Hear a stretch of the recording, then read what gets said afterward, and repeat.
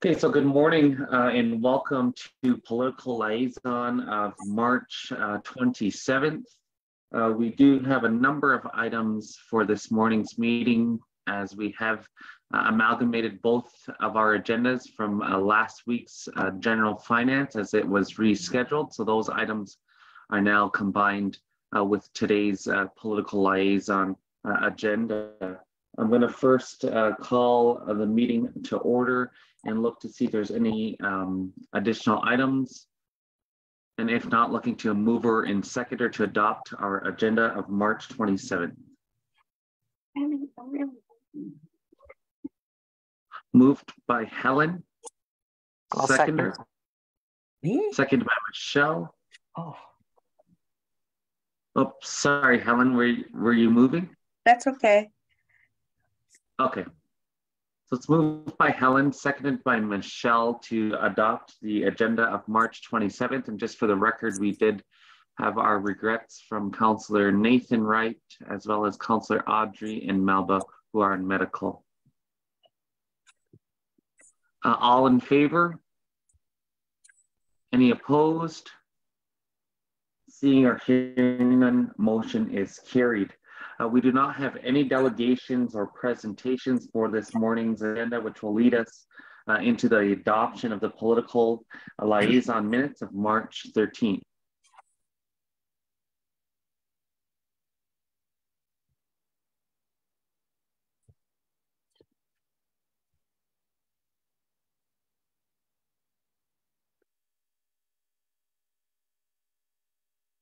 I'll move on a minutes, Chief. It's moved by uh, Carrie. Is there a seconder? Second by Helen. Are there any questions or comments to the minutes? Okay, seeing or hearing none then, all in favor? Any opposed? Seeing or hearing on motion is carried. Uh, we do have a couple of recommendations uh, from our CAP team. As you'll notice, the, the uh, second one is our usual monthly activity report. Um, and the first one I'll look to, it's the Global Geopark, which I know this has been here. So I see Taylor has, uh, has her camera on. Maybe I'll look to pass it over to you, Taylor, to walk us through uh, these two items. So we'll begin with recommendation 6-1. Morning. I'll actually do it, give it to Peter for the first one because he's been working on this one, and I think uh, Phil Davis was supposed to join. Correct, Peter? That's right, Taylor. I expect uh, Phil Davis any moment. I think he was down uh, by Central trying to connect, so he's uh, going to be sitting with me. So if there's any questions uh, I can't answer, um, if uh, council wishes, we could potentially return uh, to it because I expect him imminently. Uh, so the so the first item is that Geo Park, which I believe was uh, first before uh, council in uh, December, uh, but there was no one to speak to it, I believe, at the time, nor was there a particular uh, resolution or briefing note. So this is a this is an attempt to have the Niagara Peninsula declared as a United Nations educational, scientific, and cultural organization, UNESCO for short, global geopark. Uh, it will basically not, to the best of my knowledge, uh, create any uh, you know legislative or, or you know legal additional protections uh, for the environment, uh, but it will create some, I guess you could call moral suasion, um, make make it uh, perhaps a bit morally more difficult for say a developer to take out a wetland, you know, tear down trees and the like. Um, Jim Davis and other supporters uh, see it as a potential uh, tourism draw uh, to the area. Uh, and Jim, in particular, uh, you know, hopes that uh, Six Nations will be able to benefit from it. Um, this is generally a good thing. as I say in the briefing note, the only really downside that we can think of is that you know potentially greater tourism could cause more stress on the environment but uh, yeah, we do rec- recommend uh, elected council uh, endorse the geopark. Okay, thank you, uh, Peter, for that, uh, that quick, uh, background to this matter. Again, council, it's within your briefing. I'm gonna look to any further questions or comments for Peter on this recommendation. And if there are no questions, comments, again, I do, uh, remember this item, as Peter's mentioned, uh, in early December. I see Greg has his hand raised. Uh, yeah, hi, Peter. Um, just a quick question. Is that, is that within that Bill twenty-three lands? Is that, is that in the same, same area at all? Well, or do you think that'll impact?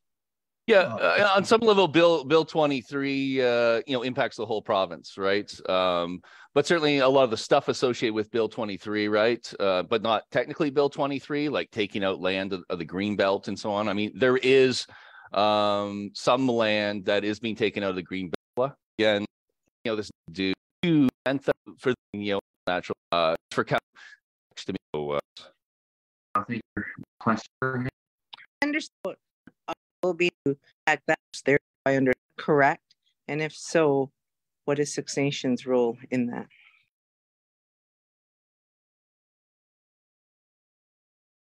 Yes. I think you're correct. Sorry, I can't hear. oh, sorry, sorry, Peter, you're, you're, um, Yeah, I apologize. I'm just taking this in and out so Phil Okay. can, can hear what's going, what's uh, going on, but I'll be sure to put it back in uh, uh, when responding. Um, but yes, yes, you have the, uh, the correct under, understanding, I believe about that. Um, but I think uh, Phil is probably a good place to talk about potential benefits to uh, Six Nations of the Geopark. of the geo. So, uh, so I'm gonna have to pass the headset to, to him. A, a moment, please, because I can't hear you unless you. Uh, so you go, scan go. Yes, the potentials that that we foresee with with with partnering with Six Nations in the future, i- the whole part of the geopark is to raise uh, economic opportunity through tourism. So as we progress forward, we're still in the we're still very much in in the uh, groundbreaking state with the project. We don't have designation. We're creating partnerships with a lot of potential partners in and around Niagara. And of course, we've been promoting our presence as Haudenosaunee people going back, you know, uh, as far as the archaeological information goes, 13,000 years. So using the- the geographical and human habitation history of Niagara to tell the story. Niagara region is the area which we are wanting to get designated as the geopark. It's not one said small park, it's a whole region. So using all of that, everything that's happened since the ice age, eh, uh, since it retreated, how the land was formed, when the human uh, habitation started, and telling stories from there, from our part, from from any other indigenous uh, peoples that were in the area and have occupied the area at some time. So using all of that to our advantage to promote tourism and of course to raise our bar of awareness, which is also going to raise our political uh, issues as well on a worldwide basis. Uh, the global parks, uh, the geo global parks, uh, there's 177 currently uh, around the world and only six of them in Canada. So we're we're trying to be, you know, one of those first few in the game in the Western Hemisphere. That's probably why a lot of people haven't heard or heard of them here, be it, but they're really big news over in the eastern half of the hemisphere. They're bucket list for people to travel.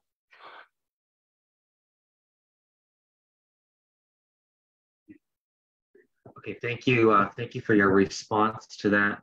So basically, I guess it's uh in, in the beginning stages of where we can do the collaboration with our own departments, uh, like tourism, uh, to really start to set that stage of what those opportunities look like. Well, I I believe our our activities that we like to see. Well, we have a meeting coming up, and we're going to start talking about the trail systems that exist that we know of. Uh, working with Brock University, of course, we have multiple uh, uh, we have a geographer, we have a couple geologists, we have a couple professors uh, with tourism. And so we're using that uh, knowledge and that partnership to help promote and through archaeological record. And of course, starting research projects moving down further uh, to create our stories and tell our story of that. The reason, the reason, uh, the reason that it would move so steadfastly uh, with was trying to create a partnership with Six Nations. Our our goal was, of course, during expansion to start moving towards uh, relationships outside of the area of the geopark of Niagara region. And one of our our topics was, of course, with with here in Six Nations, and that's heavily why I'm involved. But because UNESCO dropped dropped the uh, uh no, sorry, it wasn't UNESCO, it was uh, UNDRIP that dropped the uh, uh, dropped the uh, letter down saying that they wanted to see uh, uh, unilaterally to have um, BCRs and recognition from uh, band councils that are related to the area. Now that, now that was a little contentious to start with because of the in, in the manner of timing that they did it and how steadfast they were trying to do it because we were trying to seek designation uh, as of uh, last year. And that's why that's why I came forward uh, so fast because it was something that was just dropped on our desk and and we were trying to deal with it the best way we can you know. So our whole goal is to create the relationship so that we can uh, move forward and and just just the right now just an MOU recognizing the the the, the project and recognizing that we're going to start a relationship so that we can start researching how this is going to work the best for us. A lot of our work that we're doing now, of course, is tied to filling out the application involved with applying for designation from UNESCO. So creating uh, uh, partnerships, working groups, and all that stuff. Uh, actual projects, there, there's very few. We have more MOUs with partnerships than we do with working projects. I think we've we've established a couple. Tim Johnson's is on our board now too, and we've established a working relationship with Tim Johnson, and and promoting all the magnificent that work that he's done with the memorials that he's uh, made down Niagara. I don't know if anybody's ever seen those, but they're absolutely stunning, and they totally promote promote us here at Haudenosaunee peoples, and, uh, and that all has to do with the part of the War of 1812 for, for the most part, that's what everybody thinks of us in our part of our history of Canada, right? They only see to 1812, they don't realize how long we've actually been around, especially in Niagara. It's very evident of where those trails are and everything. Something that I've put a lot of research into myself, just just as a hobbyist, uh, uh, archaeologist, geologist, trying to understand our peoples and uh, why I why I feel so home at Niagara as a Haudenosaunee person. So that history is is is very substantial and goes way beyond our part of the War of 1812. Okay, thanks. Uh, thanks for your response. Uh, further follow up from Michelle. Peter, has uh, Rod weighed in on this?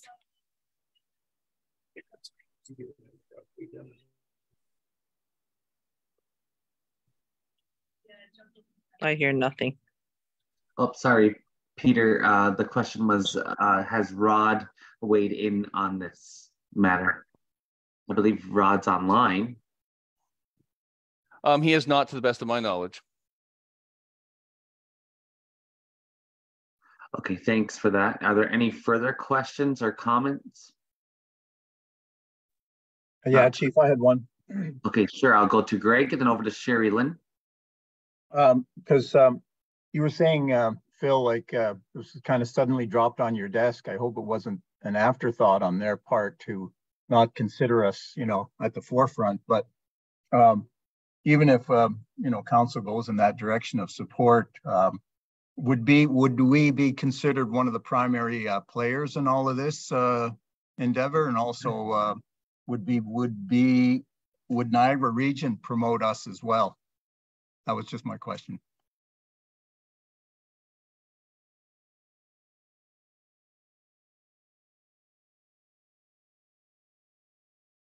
Oh, sorry, uh, Peter, you have to, uh, your mic is not working again. You're on mute.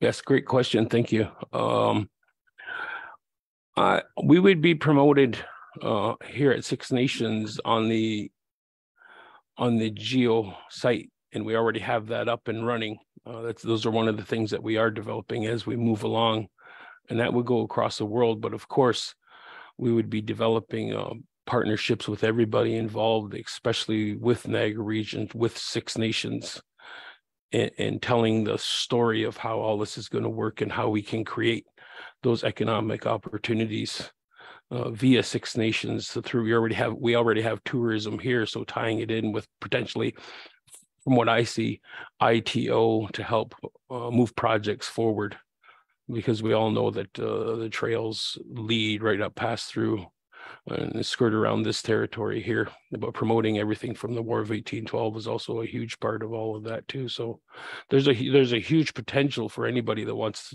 to be a part of it. There's no there's no limit. We don't have any say in what anybody who is a partner wants to do. All we do is maintain the parameters of uh, a designation for the geopark through no yes UNESCO.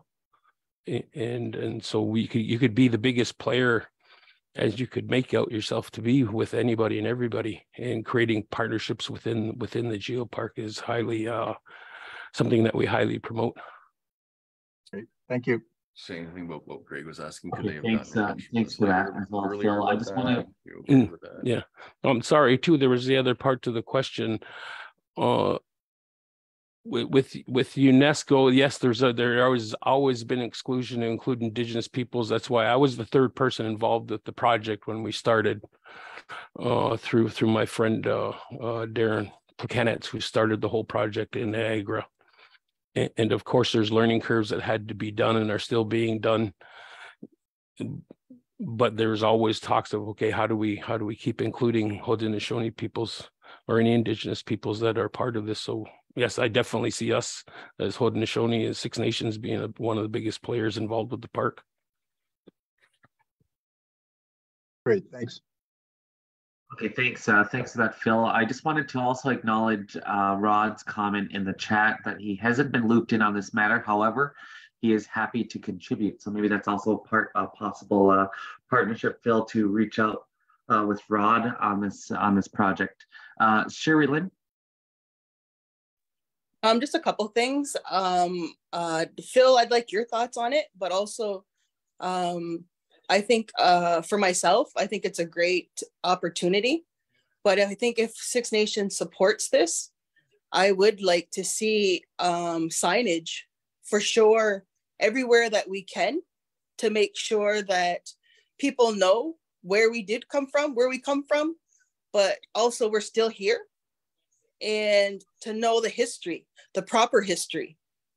Because I think this is a um, a gateway or a start to really start um, getting it out there more than that it is, that it is right now. So go ahead, Phil. So, oh, okay, uh, Awesome. caught me a little flat footed here. Sorry, sorry to put you on the This spot. this is the same, this is the same kind of a, a, a battle we had with, uh, the Niagara Escarpment Biosphere Network, where, uh, the indigenous voice wasn't being represented, so we had to be involved with that through UNESCO, and, uh, I've been doing, working on that on my time to try and get our voices in there, and obviously we, we have succeeded now. Tim Johnson is, is playing a key role in that. So this all fits together. I think the signage and the comments you bring up, Sherry, uh, Counselor Sherry Lynn is uh, excellent because our presence has to be ed- re-educated into this entire system, you know. Certain things have happened, the, the eighteen twelve memorial, that's all positive. But the Niagara region, you know, the wars of eighteen twelve all throughout this area, this area. I know the Six Nations cap team earlier had tried to uh um enforce our increase of the tree canopy throughout the Niagara region, and we still want to work on that. This fits right into that. Mhm. As well, somehow we've got to counter what Ontario was doing for their developments in wetlands, and they're just pushing ahead. So any any allies, to my view, any allies we can find along the way, we should pursue it. So those are my comments. It's all environmental uh initiative. So I mean, it's pretty hard to say no to this. If we can uh if our voice is properly heard and we do have a, a decision making. That's the biggest thing is that we're on this with decision making authority, not just tokenism, because that's the way the Niagara Escarpment Biosphere Network was originally set up. So we've, we've bullied our way into being control of that now. So that that's to me, it's all positive step and uh, it's a good initiative you're doing, I'd say. Yeah.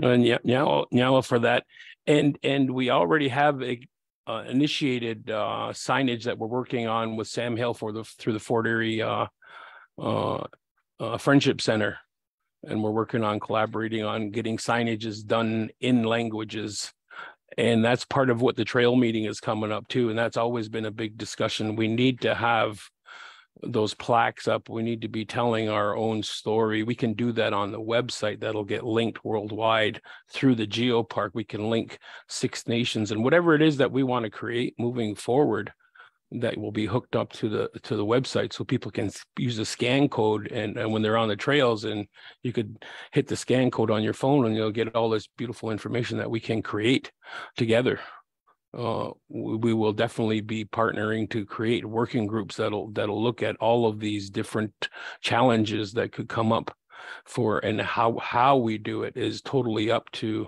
and it would totally be up to six nations as a partner how you do that. And uh, like i said we as the board our responsibility is to create partnerships but also to maintain our designation. And what i mean by that is we're not static like like um like what uh, uh, Philip Montour just mentioned there with with the uh, escarpment, uh, we have to we have to have a long term plan, and we have to uh, uh, reapply in four years. So that's what that's what keeps it alive. That's what keeps it vibrant.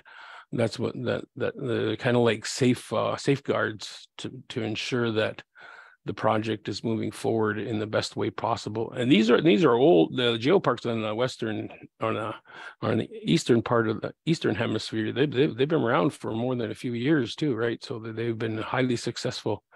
And, and to me, it is very, very exciting to have this op. That's why I jumped on. I'm totally a volunteer with all of this, and I've been doing it for seven years and learning a, an incredible amount and telling our story as Haudenosaunee people to, I know, thousands of peoples and why it's important. And so yeah, I totally agree that it's, it's a very great opportunity to raise the bar for our children, our grandchildren.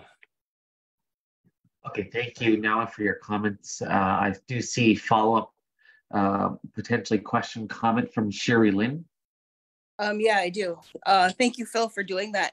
And and for sure, I guess for the part is, you know, these are our these are our trails that our ancestors traveled. So let's give them respect and let's show the rest of the world where we what we did and that we have been here for for so many years, thousands of years. So I think this is um like again like I said a great opportunity, but the signage and getting it out there is is is key to to show them you want to know what we haven't we haven't left we're still here mm-hmm. so that's my thoughts yeah yeah yeah totally agree yeah. uh, Sherry Lynn. Okay, I just want to also acknowledge uh, Rod's comments in the chat again that there is a national program for the designation of Indigenous protected and conserved areas, also known as the IPCAs, within the Western Canada First Nations getting most of the money. So again, I think, uh, again, Phil, uh, to further uh, connect uh, with Rod, could, uh, you know, with his contributions can definitely assist, I think, in this initiative as well. Mm -hmm yes i see i see our relationship as being a super positive not only for sustainability but also again for the economic uh, uh, sustainability for because anybody from six nations anybody indigenous from niagara especially women that's highly promoted uh, uh to increase the bar of of of of indigenous women being entrepreneurs is really pushed through by UNESCO. And anybody that wants to create something we could all be a part of that and help you know create something that helps promote telling our stories whether it's you know somebody doing doing a walkthrough on the trails and sharing all the knowledge or bus tours or anything else that you can potentially think of. And any of the 177 geoparks that exist if we go to one of them, we see something we like, we get to email them as as a as an aspiring geopark and ask us ask them how they're doing that, and they'll send us over all their data. And we've had multiple meetings with multiple different geoparks and, and informing us on how their how theirs are working, and they they've gladly sent us information on how their processes went, who they had to work through in order to make things happen. So it's it's a really it, it it's it's a win-win all all over the place. Okay, thank you, Noah, for your, your comments as well. Looking to the floor for any additional comments or questions.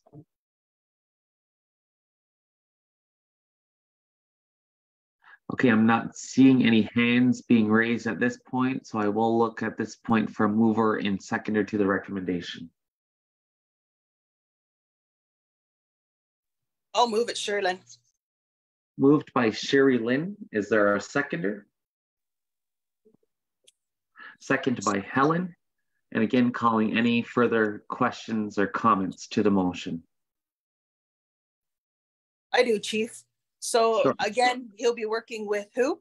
Like the uh, with Peter, but also, you know, we'll we'll bring in um, Rod and everybody Yes, go on this Yes. letter too. We're gonna see to send them a support letter. Is that what's going on? that's right. Right? Okay. Thank you. Okay, is there any further questions or comments? Okay, seeing or hearing none, then it's been moved and seconded. All in favor? Any opposed? Seeing or hearing none, motion is carried. A motion to waive second reading? I'll move. Moved by Sherry Lynn, seconder. Seconder for second reading. Uh, Helen, all in favor? Any opposed? Seeing or hearing none, motion is carried. Well, really appreciate the work uh, that you're doing, Phil. And again, uh, we'll look to uh, potentially, I, I know the CAP does monthly activity reports. Potentially this could be a part of that so that we can see the progress uh, happening within uh, this initiative. And again, the further uh, collaborators as well, like Rod and others, even Phil, got, glad to see and hear Tim on as well. So again, if we can just have that regular communication and update on the progress. Oh yes, of course. Of course, it's very exciting to me, and I know Tim's going to be just as excited too for the potential that we can uh, build together. So now, now go everybody. Fantastic. Now, and th- uh, thank you for joining us. Okay, Ona. Wanna- Okay, Council, I'm going to continue moving along the agenda here. I have recommendation six two, which is again the monthly report for February and March of the CAP team activity. Uh, Good morning again. Uh, Unless there's specific questions, I was just gonna highlight, uh, I know from last meeting, there was talk about Brantford. We have set up um, what's quarterly meetings with uh, Brantford where they will be bringing um, their ongoing, starting and upcoming projects and then explaining to us. And then uh, we can uh, express our concerns and whatnot. I do believe the next three have been set up for the year. And also uh, Kitchener and Niagara are doing similar things uh, for like uh, for their public works projects and uh, other types of uh, road, I guess, transportation projects and um, trails and uh, stuff. Um, I'm the the frequency of those meetings ha- have not quite been set out as, as quarterly or not, but they will be um, mul- mul- multiple times through the year, uh, and then, then they will be same kind of format. Well, they'll be presenting all the ongoing, upcoming, and the ones that are just about to start, and then uh, and then we can comment uh, and question them on those. I don't know if you had anything else to add, Peter. No, that was perfect, Taylor. Uh, I think those are the highlights. Uh, yeah, most of the material is, is kind of typical, uh, you know, meetings with uh, private and public uh, proponents. Uh, but uh, you know, as far as newer stuff, uh, Taylor's flagged that already. Okay, uh, now for that, Taylor and Peter, looking to any further questions or comments from council in relation to the activity report. Again, this is for the months of February as well as March. I'll accept the report. Okay, it's moved uh, by Michelle to accept uh, February, March activity report. Is there a seconder? I'll second. Seconded by Carrie. All in favor? Any opposed? Seeing or hearing none, motion is carried. Uh, to uh, each of you for, for that. I'm going to continue again, Council, moving along the agenda here. Our next uh, item is recommendation from Environment uh, which is 7-1 in relation to the FNECP um, application. So maybe I'll look to Rod uh, to give us a briefing on this recommendation. Yeah, good morning, Chief and Council. So yeah, I, I do apologize. There was a, a, br a briefing note that was uh, provided last week and it should be in the Dropbox. Um, this funding application is um, similar to the one that we did last year for the radon gas. So it's a federal funding program uh, looking at the ecological and human health effects of exposure to environmental contaminants. So you might recall that um, there had been quite a few community concerns over, over the past few years about um, soil contamination and water contamination. So we did approach uh, Health Canada Indigenous Services and their current environmental monitoring program focuses only on uh, testing water, like uh, well water. It did not include a, a, program to access laboratory analysis of soil. So uh, myself, and I think it was uh, Lori Davis Hill, we met with um, Indigenous Service Canada, Health Canada, the contaminants lead up in Ottawa, and they suggested in order to access some of this uh, federal funding that we put a proposal in uh, to cover some of the lab fees associated with um, with the soil and the water testing. So that's what we did, and we received a note notation, I guess, just last week that our application was uh, conditionally or provisionally accepted. Uh, we don't anticipate that the formal letter of approval will come until probably last year it didn't come until the till the summertime so hopefully it's sooner this year but basically the premise behind it is uh, it's going to provide us with um, some funding to do um, soil and water testing and using an accredited lab to find out i guess um, uh, I guess we're going to try to, we, we put in the proposal to test, uh, first of all, to select up to five sites. So we know that there's no environmental regulations on, on Six Nations, as, as is the case for all of the First Nations in Canada. So the fact is that there's some legacy uh, contaminated sites or, or um, hazardous waste sites that have that people are aware of. So you recall back in the 1990s, it was Six Nations Against Pollution. More recently, we've had uh, neighborhood and citizen groups um, stopping in front of dump trucks. So there's a lot of concern.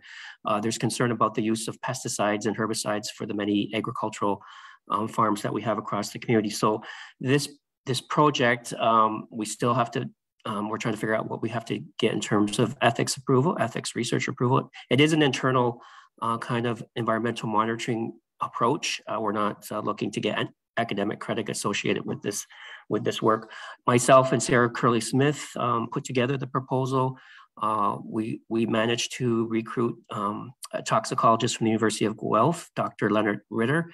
Um, under this program, you do have to have a, a PhD principal investigator, so he's uh, agreed to assist with um, uh, delineating, I guess, the title of the project is uh, deline deline delineation of contaminated sites uh, across the community. So um, there's this term called contam contamination attenuation zone. So it's basically um, how far a contaminant, once it's in the environment, migrates. So we're going to probably be using GI, GPS and other GIS-based technology to try to um, figure out which five sites we should select. We're hoping that um, we'll be able to leverage some more partnerships and some more funding once we get the work underway. Um, it's not going to be a comprehensive uh, environmental health study as was done in the past. So you, you might recall the EAGLE project um, that was in the 1990s. Uh, it was the effects on Aboriginals from the Great Lakes environment. So um, it's not that comprehensive. Uh, and then there was a follow-up with the First Nations Food and Nutrition Environmental Study. Um, so it's not, they tested water and, and took a human tissue sample as well. So we're not going to that extreme. This one is basically to say, to demonstrate that um, as a community, we know for a fact that there's contaminated uh, hotspots across the community. Um, some of these persistent chemicals probably remain in the environment. Some of them were buried. Some of them came by way of atmospheric deposition. So you saw the strong winds yesterday. I think there was uh, up to 90 kilometer winds coming from the southwest. So anything coming from that part of the United States on the south side of Lake Erie could be transported atmospherically and, and end up here uh, at Six Nations. So um, there's different avenues in terms of how contaminants uh, get into the, the natural environment. So we're going to assess those as well. So I mentioned we're going to do soil and water sampling at five sites and then try to figure out how far these contaminants may have migrated and then try to leverage partnerships um, and some additional funding to do more comprehensive testing. Um, I think that was it. I mean, I did try to um, put the context in the fact that we're right now we're dealing with a lot of concern around the drinking water. So the fact is that because a large proportion of the community relies on groundwater um, through private drinking water systems, wells and cisterns, um, off reserve, there would be a source water protection uh, regime or set up to, to pre prevent land-based activities that could potentially uh, pollute a, a, drinking water source. So we don't have that on, on the community. So I did have a slide that I had prepared, um, but it's it's pretty detailed. I know we don't have that much time today to get into too much of the, the details, but there's probably about, I think I listed 10 reasons why um, source water protection um, is not happening here at Six Nations in, in the context of um, land-based activities that could potentially result in contamination of, of drinking water um, in well in private wells. So we, there's a lot of talk about the boil water advisory and the drinking water advisories um, as part of that class settlement. So um, there, and there's there's reasons why uh, we have to exercise caution, I guess, and and using that drinking water without treating it. Whether it's the boil will re remove the uh, bacteriological, it won't remove the chemical contamination. So um, there's been other instances where Northern Ontario First Nations have declared a water emergency. I, I know that's a probably a political decision to do the same thing here. But the reality is that over the over the many decades, uh, the drinking water in private well systems is not is not suitable for for drinking. So again, that's a political decision. So I'll, I'll try to stay out of out of that. But um, yeah, so uh, just to um, again, just to, to, summarize, I guess, because um, there's there's so much in the news in the media on a daily basis. So you saw the the train derailment in Ohio and there was a concern about vinyl chloride getting into the drinking water system. Last week at the Environmental Task Force, we had a presentation by Environment Canada, and they done a, a study of um, European starlings, uh, bird nests at the City of Brantford landfill, and they found a contaminant um, that was quite high. Um, it's uh, it was found in the in the the bird eggs, so it's called PFAS, and it's the US EPA also had a, a a webinar last week. So the US EPA is actually de developing some strict regulations around PFAS. So they, they're, they're called the forever chemicals. It's a whole suite of chemicals and they're everything from nonstick cookware to stain carpet removal and all that kind of stuff. So there's, there's that. And then um, just last night, there was a, you saw that there was a spill in the Delaware, Delaware River. So um, it was water-based paint solvent. And so the, the city there um, shut off the, the, the water, I guess, and, and advise people to use bottled water. Um, more more close to Ontario or Canada was the Cal Iqaluit spill. So remember they had the um, hydrocarbons, and so they had to shut off their water. Um, you hear everything in the news on the, the U.S. networks about Camp Lejeune, which is a North Carolina Car Car Carolina um, instance. So it's it's it's just basically to demonstrate that environmental contaminants are issues are coming up every day. And because we're because there's no federal environmental regulations that apply on reserve, we're, we're kind of at a disadvantage here in, in terms of making informed decisions about um, reducing exposure to some of these environmental contaminants. Uh, so I think that was that's all I wanted to say. This there's a there's a band council resolutions that's required uh, as part of the funding criteria for this this project. And so I've I've uh, endeavored to kind of craft a a, a, a, uh, a BCR um, that we would that we would send to the funders uh, with with council's concurrence. So I'll leave it at that. Hey, now, uh, Rod, for walking us through uh, this recommendation. I see Michelle has her hand raised. So I'll move this motion, but I also, Rod, if you can tell the community, like when I first started this is what community members were asking for is we need soil testing because we've done so much in water that's still an issue, but the funding is minimal. I think we need millions, and this is where council plays a role. I know this is just a start, but we need to get um, obtain more money. So I'm willing to move, but if you can share to the community how much it would cost one environmental soil test to be done. Yeah, so it's it's depending on which um, suite of parameters you want to test for. Some of them are more more expensive, obviously, than others. So, um, for instance, we did you recall council did pass uh, a BCR last year for Peter Hill to um, to do enhanced chemical testing of wells on Six Line West, um, which he did. Uh, there was some dioxins and furans that were detected in one of the wells. Um, those tests are quite quite expensive. Uh, there's a, another comp compound or chemical compounds found in soil on third line. So those are called polycyclic aromatic hydrocarbons, PAHs. So there was benzene pyrene um, detected above provincial standards in soil that was imported to third line. And so now we're we're trying to establish um, some testing of the wells uh, down gradient from where where this the contaminated soil was dumped. so the testing is quite expensive. We had asked Peter to also test for um, a whole suite of other parameters. Um, I think they they did most of them. Uh, we tested, I think, for PCBs and the, the, the regular ones, the heavy metals. Um, there was some, like I said, the new and emerging chemicals of concern, like these P, um, PFAS, and then uh, some of these other ones. So the, the test varies. Um, there was some soil testing done on Six Line West, and I think uh, we worked in cooperation with Protect the Track and, and uh, uh, the Confederacy, and I think the cost for that was upwards, I think, of 25,000. Um, so yeah, and that was for, I think, I'll have to go back and check, but I think it was maybe five to six soil samples. So they're quite expensive. Um, we've connected with the University of Guelph Food Lab as well. So if there's um, any food products that are grown in contaminated soil, um, and they have the potential to bioaccumulate and bioconcentrate in what we call country foods and farm food, farm produce. Um, those tests are are not as expensive. Uh, it's a it's kind of because it's part of a routine uh, service that the University of Guelph and the Ministry of Agriculture and Food um, provides to the public in terms of giving them confidence that the food that they're eating is safe to eat. So uh, those costs um, are not as expensive. But yeah, it, it, it, will probably depend on once we assess um, what contaminants are in the soil or, or what's, what pesticides are being applied to some of the, the farms that will help us determine and select which contaminants we need to test for. Okay, now uh, again, uh, Rod, for, for that uh, explanation. I do have a motion on the floor. It's moved by Michelle. I'm going to call for a seconder and then further look to any additional questions or comments. Is there a seconder? I'll second it, Sherri-Lyn.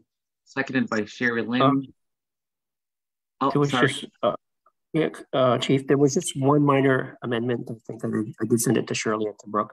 Um, the la therefore be it resolved.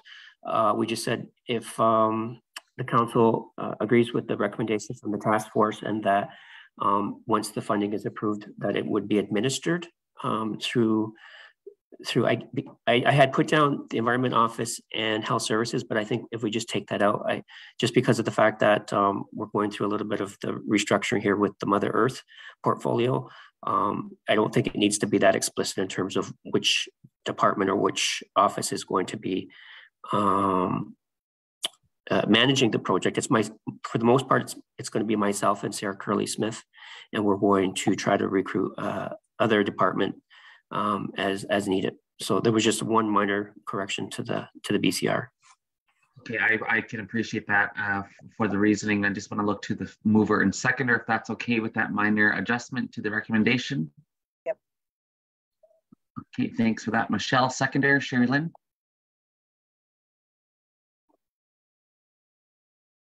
Oh, sorry, Sherri-Lyn, are you there?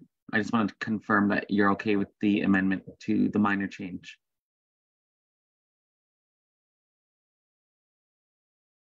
Oh, sorry, calling Sherri-Lyn one more time. Seconder.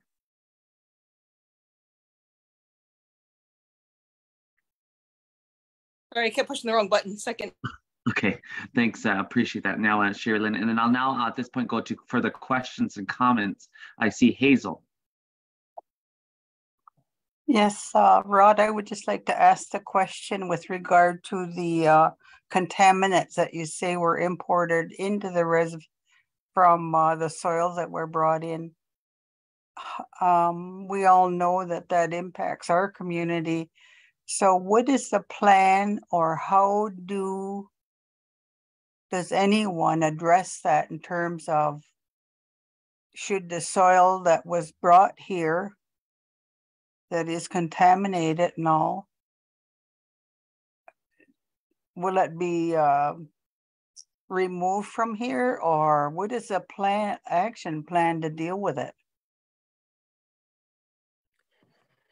yeah so it's it's the remediation plan that is what they refer to is is going to vary case by case so um, in the instance of third line, uh, this the, it was actually garbage that came in from the city of Vaughan. Um, it was under provincial order. There are probably about five recipient sites that received garbage um, from that property. The unfortunate thing is we don't have an environmental enforcement regime or any environmental policies that we can defer to. We have the 1993 Indian Act bylaw, um, and community standards and justice department are looking at um, developing some more stringent uh, uh, kind of rules around this type of matter. But in terms of the remediation, um, council did issue a letter to the uh, CP holder uh, requesting that they respect um, the, the provincial order and remove the material that was imported um, from the development site in Vaughan, Ontario. Um, that has yet to um, take place. On sixth line, uh, it was a number of sources that were providing um, materials to that to that location. Um, the property in question now is under uh, an executive. Uh, it's it's under. They got an executor. Uh, land. it's not land trustees or the executor any longer. It's a it's a law firm that's dealing with that. So um, that requires when they when they did the initial assessment, it was going to be in the millions because the the land trustee at the time uh, said, well, how much would it cost to remove all of this contaminants that's been dumped here? And it was in the millions. So um, the unfortunate thing is, like, for instance, if you look at the city of Brantford for the Massey Ferguson brownfields, um, they, they what they do is they set up groundwater monitoring wells to try to determine um, how far any contaminants that were buried on site are leaching into the groundwater. And so that's how they monitor it. But they did put up a berm um, on, Mohawk Road there where the Massey Ferguson foundry was. It, it could it could get to that extent here, but because it's just it's we're just at a total disadvantage here because we have no way to enforce anything of that nature because uh, off-reserve polluters pays. The, the, United States EPA would set up what's called a Superfund site. You recall the Love Canal where they put up, a, I think it was just a one kilometer radius um, area it was highly contaminated. And what they had to do is they had to evacuate those neighborhoods, neighborhood and, and move all those people. And the chemical there was dioxin. So we found dioxins in imported material here at Six Nations. You might recall in the 60s, it was Rachel Carson who sounded the alarm about the use of DDT, which is a pesticide. Um, so there's there's no easy answer to your to your question. I'm sorry, Councillor Hazel Johnson. It's just that uh, there's no resources. We have no we have no way to force CP holders who bring in contaminated soil to clean it up. Um, other than getting kind of, we, we tried to uh, inter, get Environment Canada and Indigenous Service Canada to intervene, and and uh, but we haven't got that to that stage yet. Just further to that, Rod, is there any chance that um, Six Nations could hold say Vaughan, where some of that contamination came from, hold that town or whatever they are, a suburb, I guess, accountable for allowing uh, that soil to come from there and be deposited, knowing they probably knew that it was already contaminated, would you think?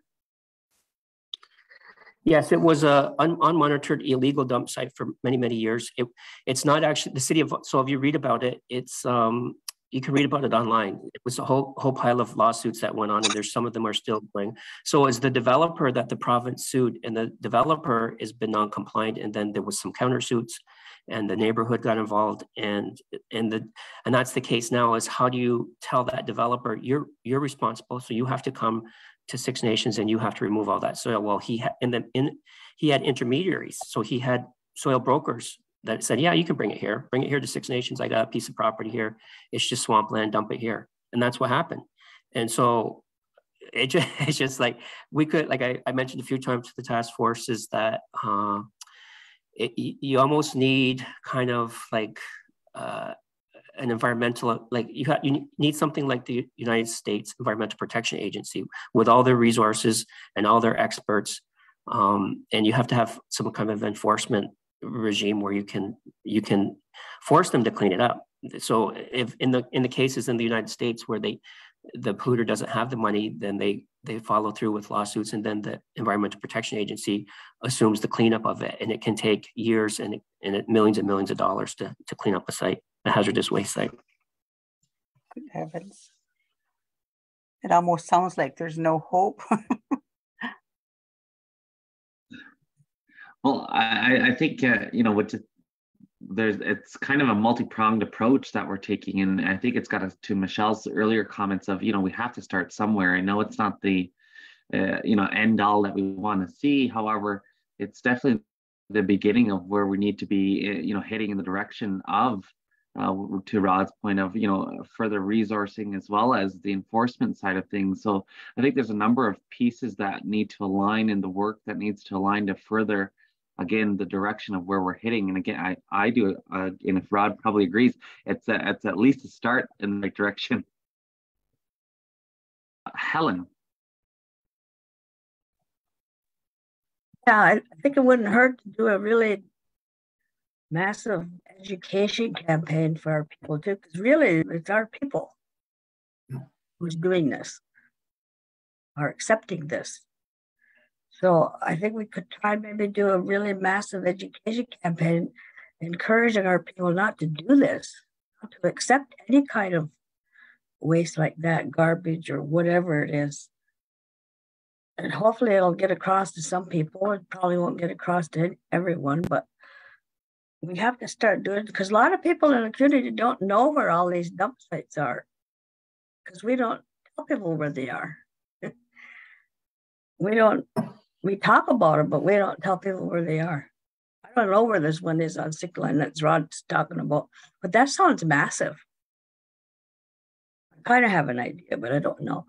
Anyway, I, that's one thing I think we can start doing is just trying to get plead, I guess, plead to the decency of our people to start caring about the land and the and the environment because we're always hollering because we don't have no land for people to build houses. Well, doing this stuff to our land is making it worse because who would want to build a house down that place that way where six line is? It sounds like that Love Canal in Niagara Falls, if y'all remember that years ago. Um, so yeah, that would be one of my suggestions, and I think it certainly wouldn't hurt might not do much good, but it certainly wouldn't hurt. Yeah, I totally agree. And I know uh, that's the uh, conversation, I believe, as well. It's a task force. I'm not sure, Rod, if you uh, want to maybe make comment on on that particular uh, in terms of you know educational campaign. Yeah. So uh, yeah, part of the the criteria for this funding program is uh, there's you there's a whole component around risk communication. So uh, you don't want to threaten, I mean, scare people. you don't want to scare people. Um, you you want to be kind of diplomatic in the approach so that they they comply with with cleanup and, and whatnot. So the risk communication side of it is yes, as uh, as uh, if you're if you're aware that there's environmental contaminant, like and I have a I took training and I have a whole uh, handbook on how to communicate risk to exposure to environmental contaminants. So uh, and we're taking kind of uh, that approach uh, as well, so, so, that, you know, but in terms of the task force um, raising awareness, uh, it, it, it, we did put out the interim um, protocol on the import of excess soil. Um, so you recall that the province of Ontario under Doug Ford paused the regulations for one year because there was so much development in the GTA and this added regulatory regime was going to add um, more time to the development of some of these sites. So he paused it for one year.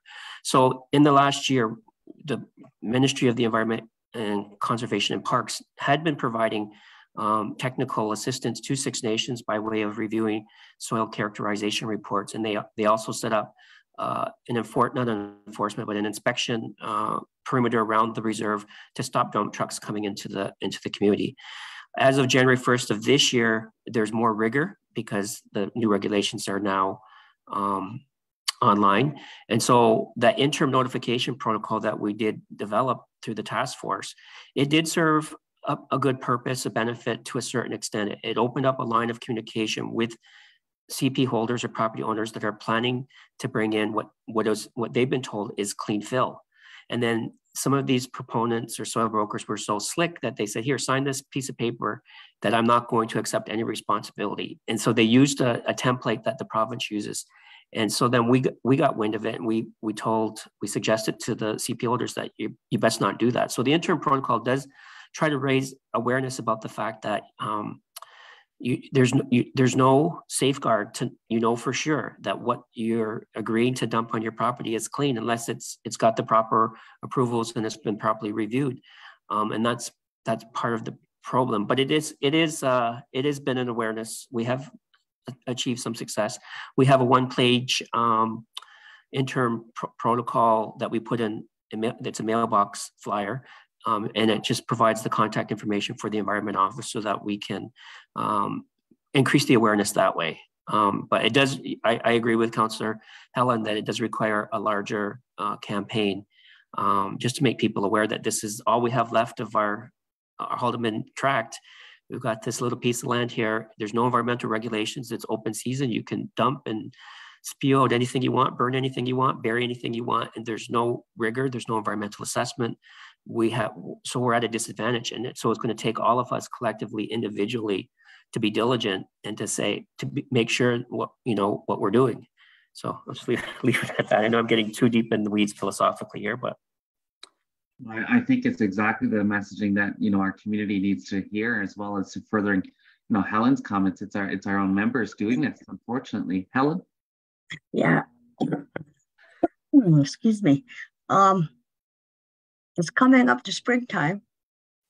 People are going to be fixing their yards and doing their flower beds and whatnot. And they're going to be bringing in soil. How do we get across to people that there's good soil and bad soil? I mean, if you're buying soil from a garden center, I wouldn't expect that to be contaminated. I would expect that to be good soil. So we can't we can't stop all soil from coming into our community because a lot of times it, you need it for things. It's needed to, if you're, you know, fixing your property up or I know I'm going to be buying soil pretty soon to do my flower gardens. I'm assuming when I get my soil from the flower place that it's clean. I wouldn't expect it to be contaminated.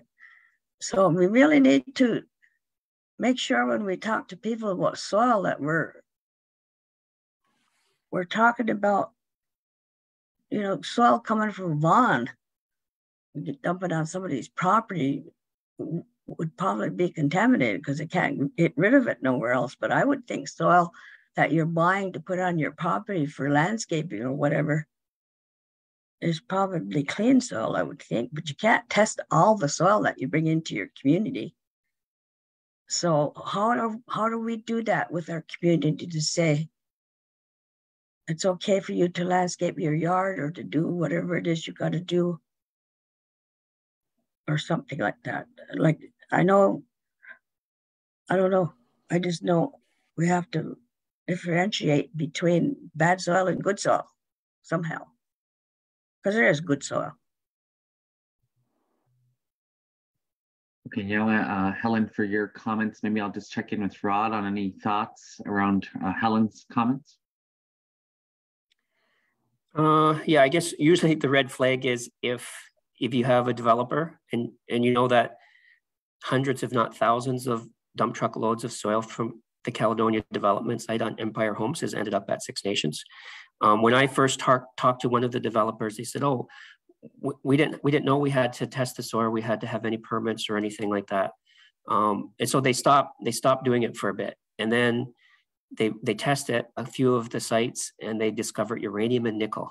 Um, so, but the thing is, it was a long time after the fact. So thousands of loads of soil from Caledonia has ended up on Six Nations. Um, they didn't isolate the part of the property there on Empire Road in Caledonia before they brought the soil, so there's no telling where it is now.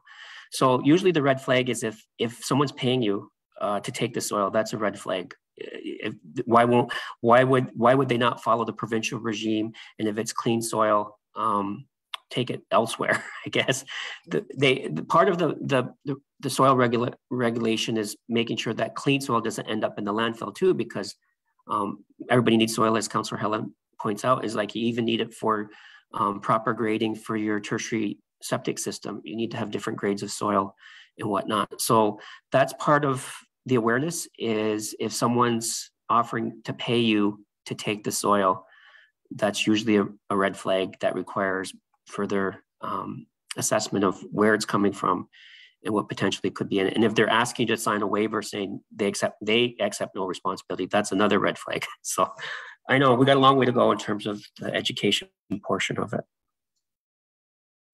Now for your comments, uh, Rod. I'm going to look back to the recommendation. It has been moved and seconded with that minor amendment. Uh, looking to the vote at this point in time. All in favor? Any opposed? Seeing or hearing none, motion is carried. Motion to waive second reading.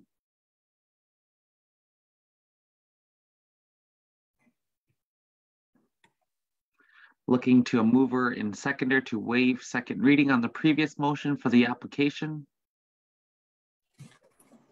Moved by Helen, seconder. I'll second, please. Seconded by Hazel, all in favor? Any opposed? Seeing or hearing none, motion is carried. Okay, now, uh, Rod, I think that's everything you need from our end. Thank you. Yeah. Have a great day. Okay, Council, I'm going to continue moving along here on our agenda. The next uh, under built environment is recommendations from our Public Works Department, who we do have, I believe, our Director of Public Works, Michael Montour, on the line. There's two recommendations, 8.1 and 8.2.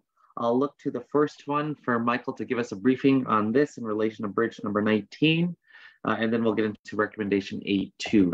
Uh, good morning, Michael. I'll pass the floor over to yourself. Hey, good morning. Chief Council and community. Um, great to see everybody virtually and talk to everybody. Uh, Michael Montour, Director of Public Works for Six Nations. So Bridge 19, um, what happens is that uh, in the community here, we have our bridges assessed every two years um, and inspected by uh, specialist engineers. So those engineers provide a, a report and uh, basically outline those bridges that we need to look at further. Um, Bridge 19, that is located between, uh, actually it's it's a boundary road bridge between us and, uh, and shared between us and the Mississaugas of the Credit First Nation. It's located on Cayuga Road between first and second line. Um, so what we've done last year is we worked together with Credit to get this this bridge assessed, and what they've recommended is rehabilitation. Um, what we're doing now with this resolution is we are uh, going through the approval process with Indigenous Services Canada. Um, we have to uh, provide council resolutions and, and submit something called a, a, minor capital application for any kind of work like this so that part of their funding process.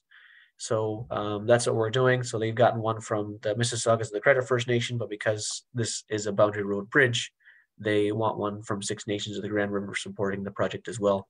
So we'll, to, we'll be looking to move on with uh, design and get into construction as soon as we can. And of course, uh, when construction's planned, we'll be doing our best to communicate to the community uh, early and often as far as what kind of disruptions to expect. So that's the that's the uh, I guess this this resolution in a nutshell and the purpose of it. Thanks. Okay, now for that uh, briefing, uh, Mike, looking to open the floor for any questions or comments on this recommendation.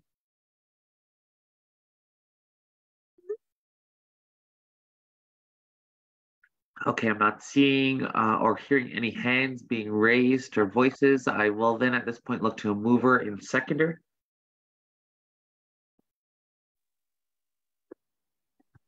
I'll move that, Chief. Okay, it's moved by, excuse me, it's moved by Carrie, uh, looking to a seconder, seconded by Greg. And again, any final questions or comments to the motion? Okay, seeing or hearing none then, all in favor? Any opposed? Seeing or hearing none, motion is carried.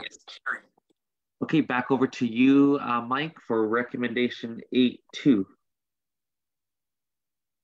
Okay, so uh, this recommendation is to move some money around. So essentially, um, Indigenous Services Canada provides us with approximately $1.2 million a year to spend on, you know, priority projects and assets. Uh, we had the administration roof uh, replaced and repaired uh, this fiscal year. That project's been done. We previously allocated $300,000 of that minor capital funds to do that. Um, there are there is some money left over. So uh, I know that we're trying to connect this with a concern that's brought, been brought forward at the Jubilee Methodist Church at, located at 2728 4th Line. So